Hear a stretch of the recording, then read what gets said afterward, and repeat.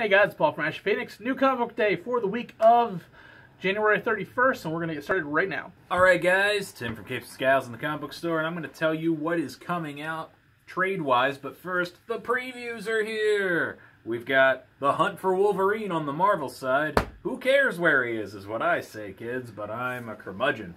And then we've got the big previews with everything ever in here that isn't Marvel. And let's just show you Deathstroke versus Batman is on the cover. And then you flip it, and Sonic is coming back on IDW.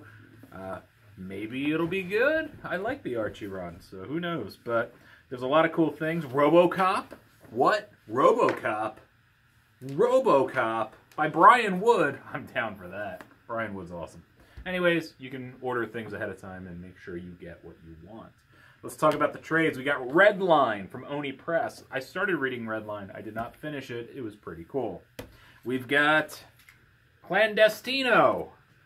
I don't know what the hell this is about, but I'll tell you the artwork is pretty sweet.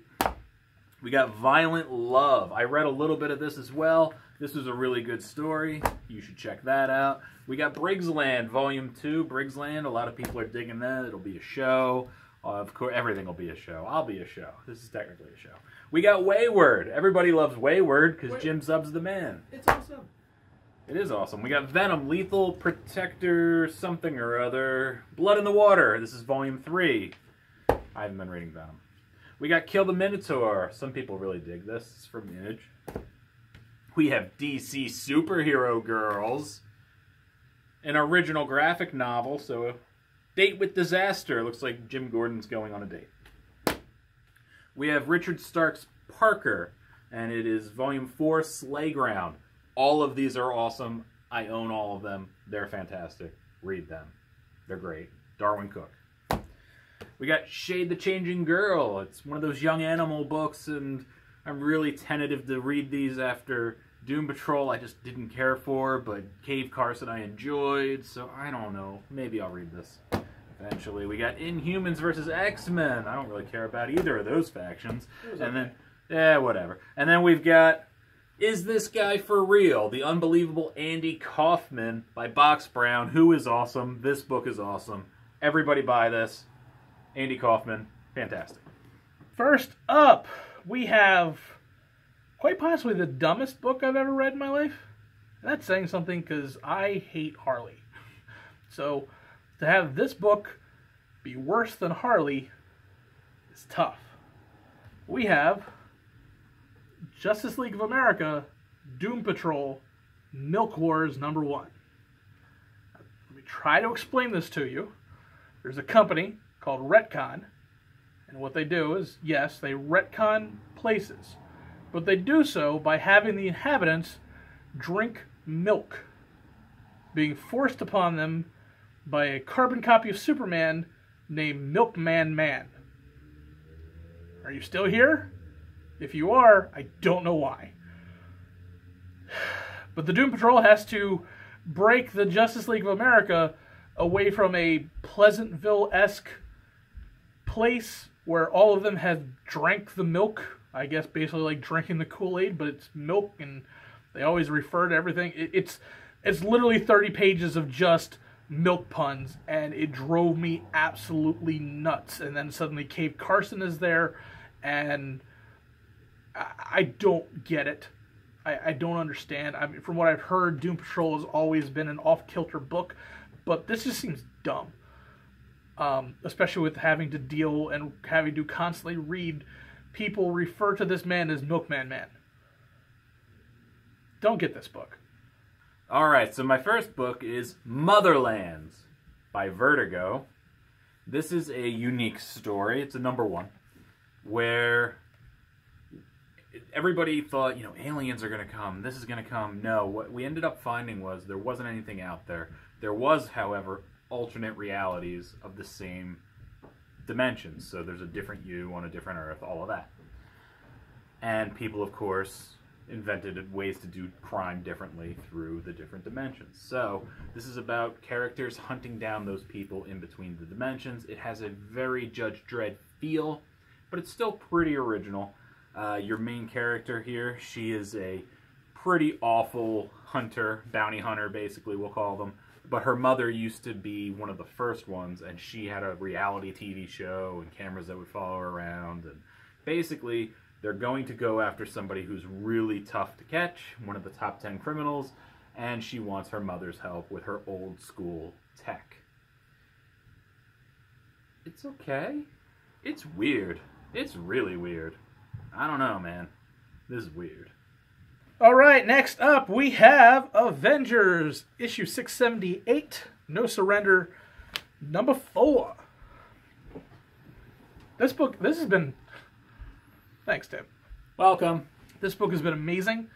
Um, and that's not just because it's by Mark Waid, Zub, and uh, Ewing. Uh, it's fantastic. So we are getting more and more.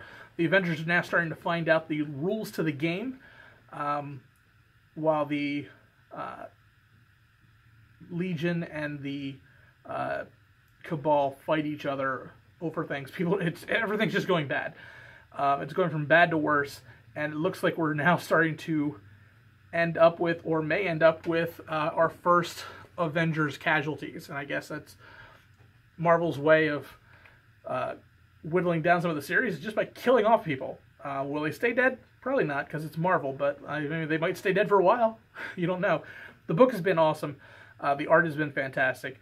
Um, do yourselves a favor and pick up the, this. Uh, it's been a good series so far. There are 12 issues left of it, and I'm interested to see where this is going to end and how this is going to uh, set up the Marvel universe going forward. All right, it's time to make half the audience mad? Question mark? Because we have Acker and Blacker. They're a good team. Everybody likes them. It's catchy names. But we've got Star Wars, the DJ, whatever the hell his name is, one shot. I don't care if you don't like Star Wars Last Jedi. I enjoyed it, and I don't care what you think, and I don't care if you like it or you don't. But let me tell you something. This makes Benicio del Toro's character way more enjoyable, way better. This is essentially the origin of how he got into the jail cell in the movie, because that's clearly what you see here. This is leading up to that point. How he got there, who he is, why we should care. You want to know why you should care? You need to read this. It's done really well, uh, and you know, I the casino scenes is probably everybody's least favorite part of that movie, but let me tell you, it's very interesting in here. So check it out if you want a little more backstory, or if you actually enjoyed the Last Jedi. Read this; you'll love it. All right, and my pick of the week is Dark Nights Metal. Metal! Issue number five. Uh, this book has been spectacular, and um, we are now one issue away from the end of this book, and it shows no sign of giving the heroes any sort of break. Um, it seems like half the book is the heroes coming up with some uh, some very well thought out plan, and in the last two pages being completely robbed of any type of hope. Um, and they've they found they come to find out that uh, everything's been wrong this whole time. They they know they were coming. They know everything was going on. That seems to be the uh, the way each issue has been going, and this is no different. Um, it is fantastic. They are they're finally in uh, close enough to get the nth metal to basically turn the tide of war, and um, they fail. They fail badly, and uh, this is going to set up an interesting um, last issue, and I can't wait for it. Uh, if you're not reading metal, you should be. Uh, most of your comics have had a lot of um, second and third printings and stuff like that. It shouldn't be too hard to find this series, um, and it's not, you don't have to read everything to it. You can pick up just the metal series. Um, I would highly suggest picking up some of the tie-ins, um, specifically uh, the different types of Jokers or different types of Batman. Uh, my favorites are the uh, Batman who laughs because wow, that's a messed up one, and uh, the Drowned and uh, Devastator. Those have been great. This the series has been awesome. I don't know how they're going to fix it, how things are going to go, or um, because it seems like this is not going to get retconned away in uh, in Doomsday Clock. So I'm really curious to see how this one ends. But uh, you should be picking it up. All right, and it's pick of the week time. Why am I yelling? We've got Silencer from DC. I picked a book I knew nothing about, and guess what? I really enjoyed it. Uh, this book is about this character of the Silencer. I don't know if she exists elsewhere in the DC universe. It says it's a metal tie-in. I don't know. But she has some cool interactions with Talia al Ghul, and she has a pretty cool ability where she shushes and an area around her becomes devoid of sound. She literally gets into a fight with her her son is in her car in the backseat of her car in a child seat. She gets into a fight outside of the car and the kid has no idea that this violence is happening outside the car. It's a unique ability and I could see where it's valuable. Uh, she's a very violent character who has some past with Talia al Ghul and she tried to leave that past behind. Uh, she had Talia's blessing to leave it behind, but her old life is coming back now now that she's created a family and she thought she was completely out. It's a very fun book. It's a very cool book. You should check it out. Silencer.